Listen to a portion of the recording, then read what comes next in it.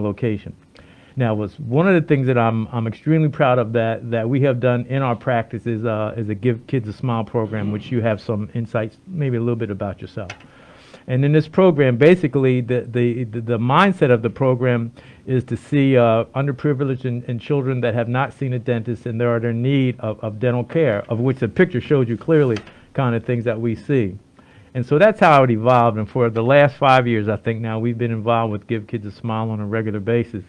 And we've seen over a, over a thousand uh, children in need of, uh, during that time period, of, of children in need of dental care, a dental home, and also to be, uh, to be kind of motivated and orchestrated to a position where they can start taking care of their mouths.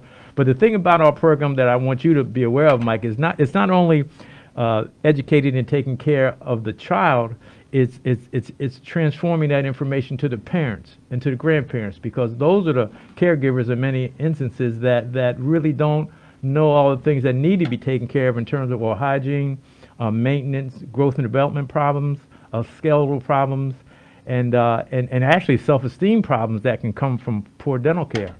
One of the great parts about the program is here is uh, we had Nicole Bellin from Operation Smile. Yeah, yeah. And you know when they talk about dental care, it's not just for the patient; it's it's for the entire family. Yeah. So for you guys doing that many, many procedures, helping that many families, it's not just you. I know you're Superman Doc, but but you mm. got a, a rock star staff. No, Talk about what it takes for you guys to put on and offer the kind of help that you do. Well, candidly, it is not me. It is my staff. I mean, I wish I could take credit for this, but I tell you what, from our office manager to our community uh, the relations director, who you're aware of, you talked to Mr. Shuck before, and, and Mr. Sauter, and all the groups that, that put us together. It's, it's, it's, it's their fortitude along with mine somewhat that make it go. But uh, and and and the and it's expensive as well because we do this uh, not we don't get cost. You know, we don't get uh, um, we don't get payment for for the, the Give Kids a Smile program.